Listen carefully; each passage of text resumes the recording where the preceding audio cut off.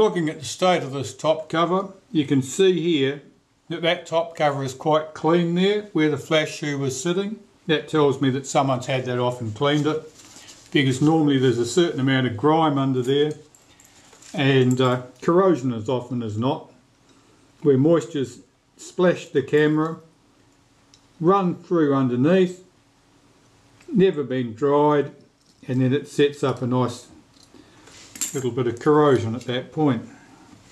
Here you can see by the state of these pieces of glass that these have not been removed from the camera for cleaning which is why we're going to do that now. That glass is dirty, uh, it's almost black around the edges and it's very yellow. I'm just going to clean the inside of the camera top cover now with a bit of naphtha.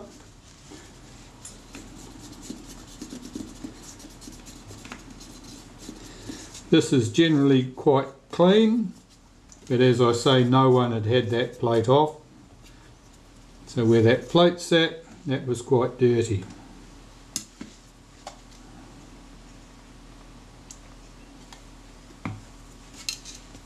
I'll clean round these the apertures here for the windows that top cover is otherwise clean because it's been cleaned previously as has the shoe. Right this piece. Now I can see a little tiny rust spot here which tells me that this has been splashed before. That'll be of no consequence to us. And all I'm doing there is wiping that to make sure that there's no oil or grease on it and turn my attention to the glass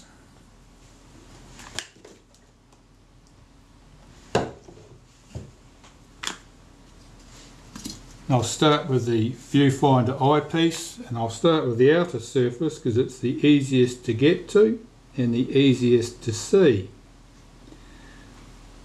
So I'll clean that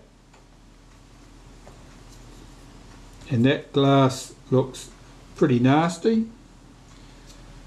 Um, if I hold a piece of white, something white under there, see if I can, you might you may be able to see that if I put a piece of white paper inside there.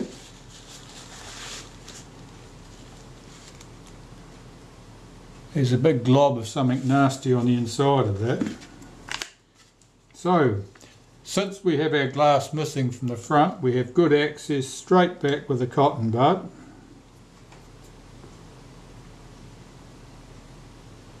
And by rotating that, you can clean that glass surface quite well and because we know we've got the outside of the glass clean we can look through that little window now and see how much success we've had at cleaning it and I'd say it looks pretty good so I'll just give that a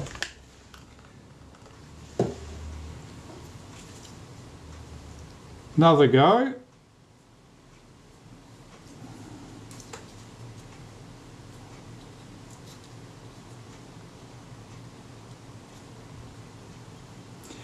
You'll find that glass, particularly in a case like that, doesn't automatically come clean with the first attempt.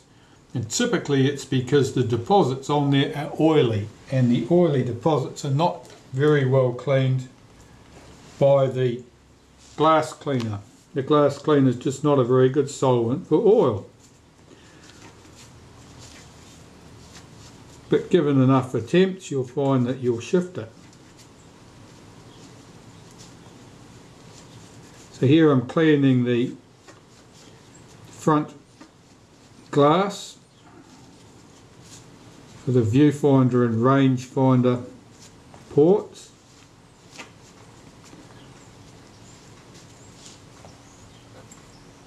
As I said they're quite dirty, they're quite black in places and quite yellowed. Well the yellowing is certainly oily deposits.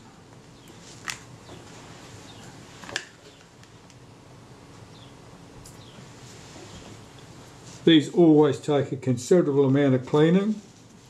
They have had greasy fingerprints for the last how old's this camera? Oh it's well over so well over 65 it's a pensioner. So this has had greasy fingerprints right back. This camera was probably made in about 1952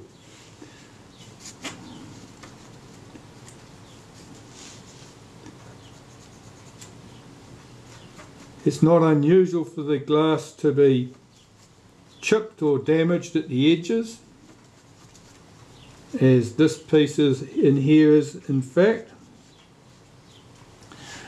There's a very slight chip on the top surface here.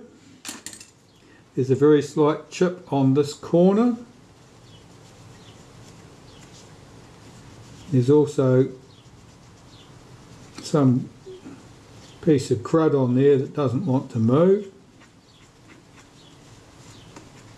That might need to be encouraged with a toothpick.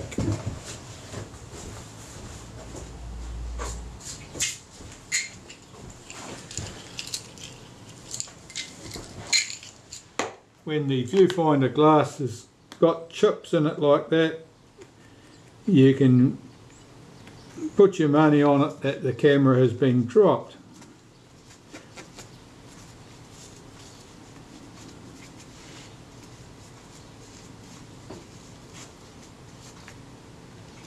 That's better.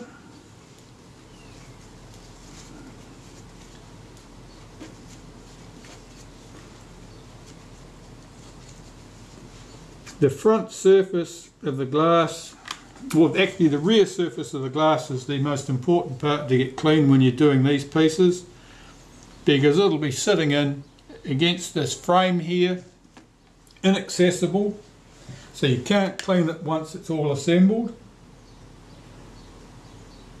and it'll annoy you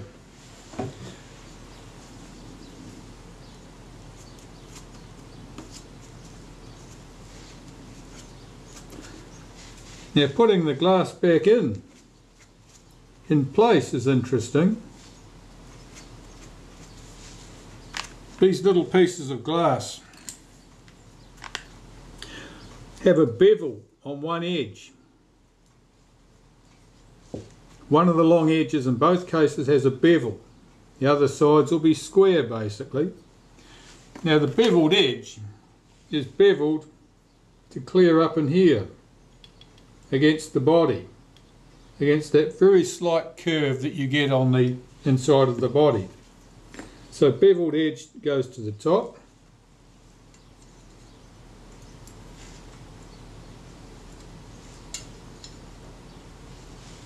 To the beveled edges up this way to the front.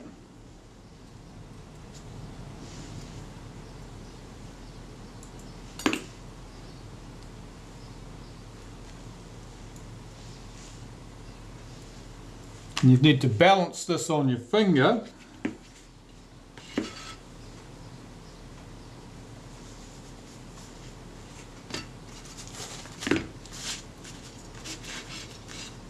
And put it back up into position.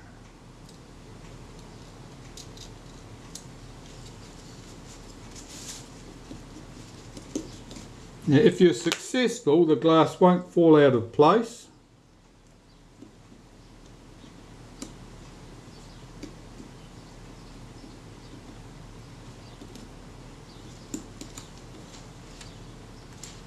and keeping plenty of pressure on it to make sure the glass doesn't shift, you can get your two fixing screws back in place. Check that the glass is seated correctly.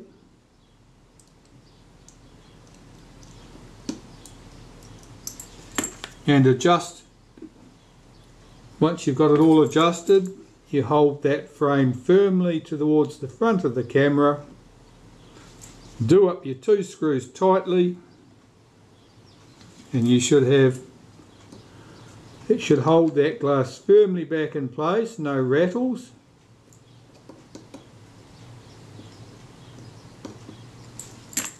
and when you look through the window from the front the glass should look nice and clean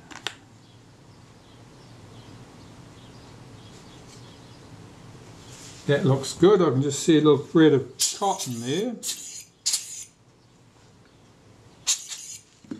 So that top cover is good. Now I can see, though you probably can't, I can just see by the reflection that there's this very slight depression at this corner. That's where the camera's been dropped on its head at some stage and the flash shoe has taken the brunt of it. Very slight. So it hasn't been dropped from a great height. It may have been dropped from a very low height. Or it may have had something dropped on the camera. However, it's certainly not an issue that needs to be resolved. It can only be seen when the flash shoe has been removed from the camera. I'm very carefully doing these screws up, making sure I don't slip with the screwdriver. One of these screws here, there are scratches in the flash shoe at that point. Now they've been done with the tip of a screwdriver. And it wasn't me.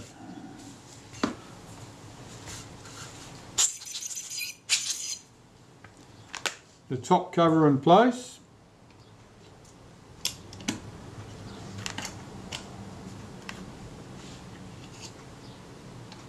Now before I took the film advance lever off this camera I made sure that I had the film advance lever out at 90 degrees from the body like this. That makes it easy to put everything back together again afterwards.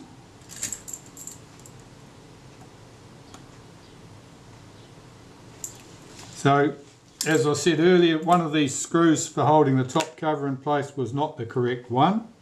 It's a longer one. A longer screw must go at the viewfinder end, not at the film advance end. Because at the film advance end it would foul that plate inside there and it would all turn to custard. So, our little guide, our bush goes on the top there. Our rewind knob in place, something through the fork to stop it turning.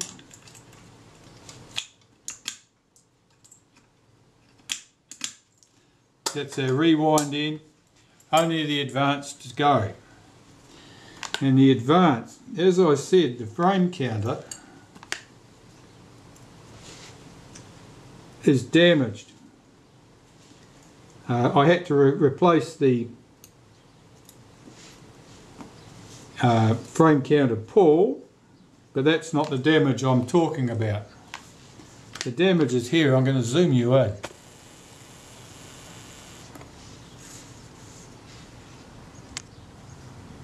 Right. The damage is here. You can see the state of this wheel. You see how it's all polished up there and shiny. That's because it's distorted out of shape.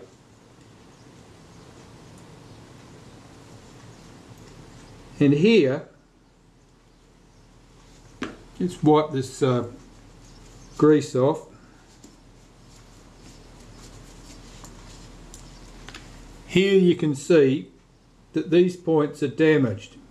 They've been pushed up out of shape.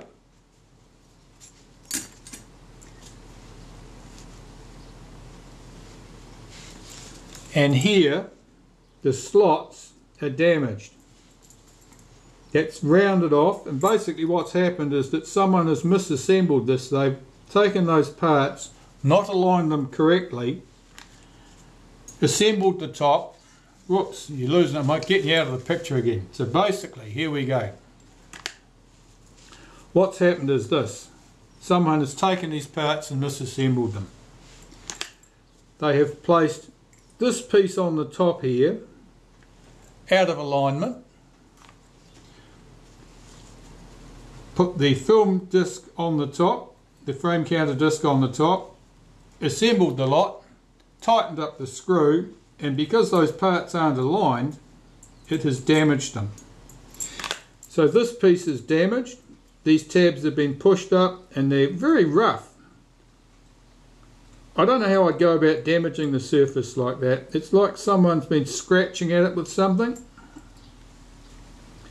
This piece is damaged because the edges of the slot, the edges of the slot here are damaged. On both sides, but this side worse. Our frame counter dial is damaged. You can see the roughness here. It's very rough. It means it was probably out of alignment and the other part has rotated against it most likely to cause that damage. I don't recall seeing anything quite as bad as that. I'm going to have to replace all of these parts. Those three parts are just shot. I'll zoom you back out. This is hopeless. I'm telling you all about things you can't even see. That disc is damaged. I'll need to replace it. This little pawl here, this counter piece, that ratchet, that's damaged. That'll need to be replaced. This piece here is damaged and I'll need to replace it. If I replace all those parts, I expect that I will be able to get the frame counter to work correctly. And more importantly it will register the end of film at frame number one not frame number two. So now to sort through my parts. Back shortly. Okay I found the parts assembled them. I have a good working frame counter that stops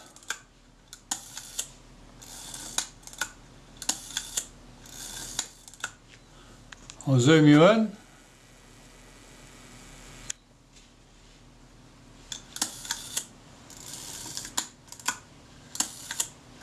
Yeah, it locks at number one. So that's sorted. That was the problem. And now we have the frame counter is good, our shutter is good, rangefinder is good, film advance is good. This camera is ready for a final polish up and then that can go back to its owner. So it was a bit of a marathon I suppose you could say. It had a good selection of problems. And looking back to see what it is I've had to deal with. Well basically it needed a service. Basically it needed to be stripped right down to the base because it was full of loose screws and would have required stripping down regardless. The shutter had been was missing some components. It was never going to work. The components were present. They just needed to be put back in place. The shutter did need to be serviced anyway to get it to uh, behave correctly. What else have I had to deal with? Of course I had a problem with the cocking action of the shutter that the outer case here was um, damaged, distorted so that the curved rack wouldn't track smoothly and that was preventing the film advance lever from returning smoothly.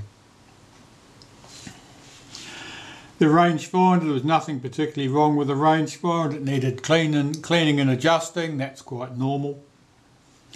The leather on the base of the camera, that had that horrible black, uh, thick black tarry muck there for adhesive. That's been dealt with. The film advance lever, the frame counter pawl or spring was broken, needed to be replaced. But that wasn't the only problem. The counter itself, these components were all badly damaged and needed to be replaced. But that's all sorted out. So this is a, a fairly early example of the Retina 2A camera. You can tell that because it has the small rewind knob with a film reminder dial down on the top plate like a Retina 2 type 014 but those dials are not interchangeable, they're not the same.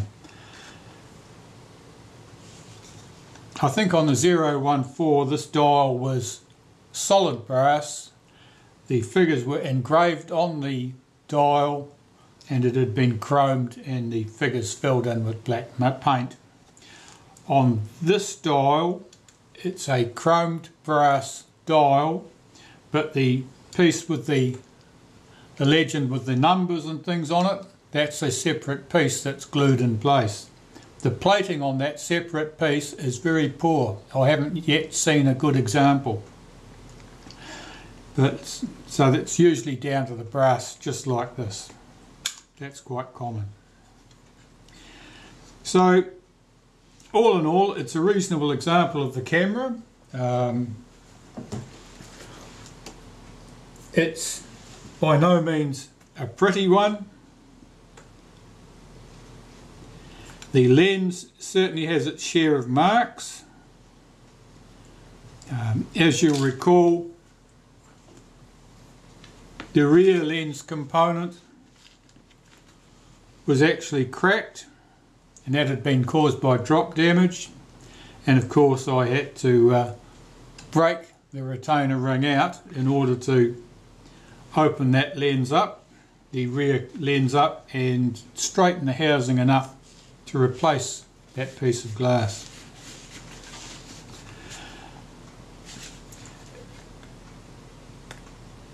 Typical of all the early Retina 2A cameras, what features have we got that's typical for those?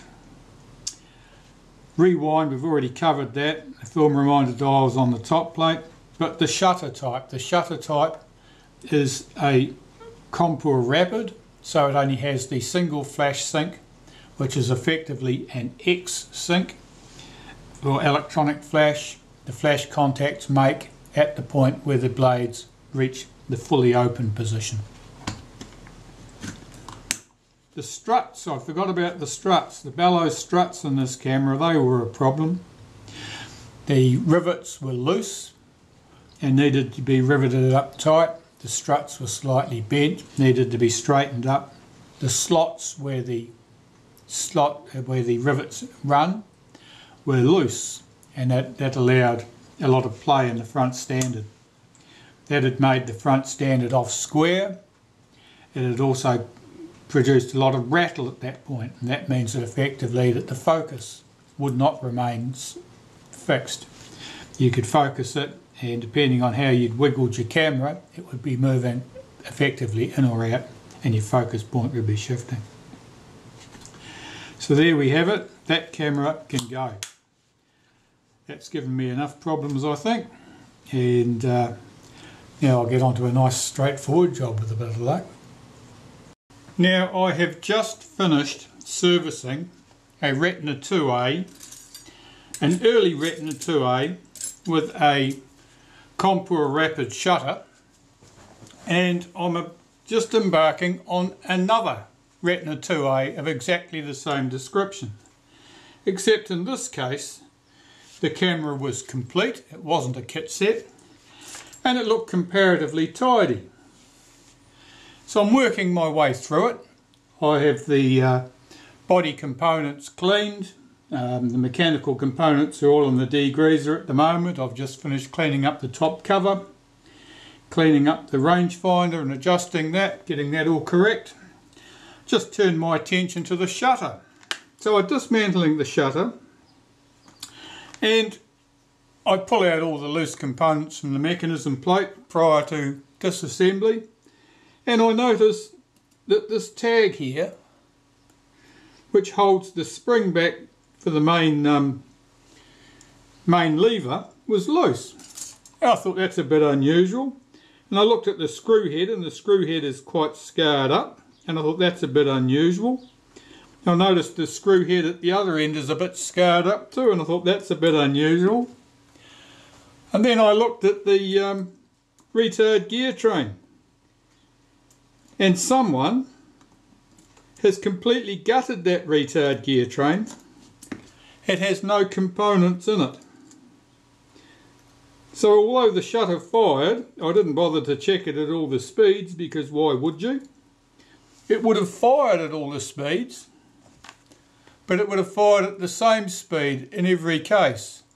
We have a retard gear train here, completely devoid of everything it needs in order to work. The pallets are present, but the pallet wheel the and all the other wheels are completely missing. So I thought this was a camera that had been comparatively unmolested. It would seem that I was wrong. This puts everything in an entirely new light. It does explain how it got a thumbprint on the inside of the rear lens group. I was wondering how that got there. Somebody's been right into this and uh, completely buggered it up.